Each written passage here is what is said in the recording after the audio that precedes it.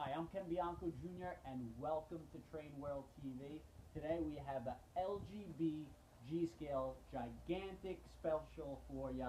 Um, we're, today we're featuring that 040 steam Porter switcher and little quick guy. You see here running a basic LGB transformer and it is quick. Now it does smoke, light, and it also has the MZS decoder.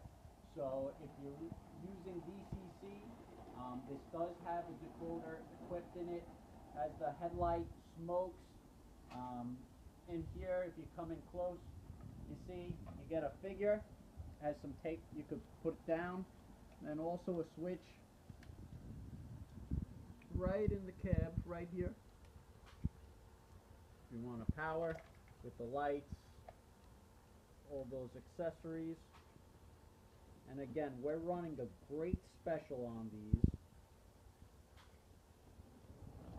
So hurry up before these speed away.